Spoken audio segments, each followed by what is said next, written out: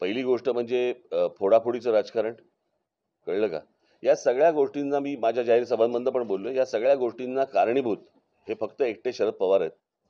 कारण या शरद पवारांनी या गोष्टींची सुरुवात महाराष्ट्रामध्ये केली. म्हणजे जेव्हा पुलोत्स्थापन झालं तेव्हापासून जर समजा आपण बघितलं तर तेव्हापासून म्हणजे अठ्ठ्याहत्तरला पुलोत्स्थापन होणं अठ्ठ्याहत्तरला सरकार येणं. बरोबर? त्याच्यानंतर ते ऐंशीला गेले.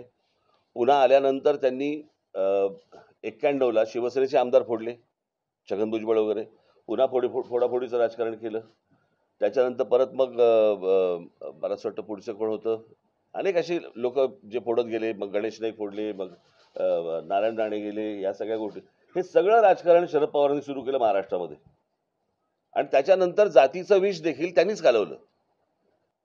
म्हणजे नव्याण्णव साली ज्यावेळेला राष्ट्रवादी काँग्रेसचा ज्यावेळेला जन्म झाला त्या जन्मानंतर जर समजा तुम्ही महाराष्ट्र बघा आणि त्याच्या अगोदरचा महाराष्ट्र बघा तुम्ही कधी महापुरुषांची विभागणी कधी जातींमध्ये झाली नव्हती कधी आमच्या संतांची विभागणी कधी आडनावांनी कधी ओळखली जात नव्हती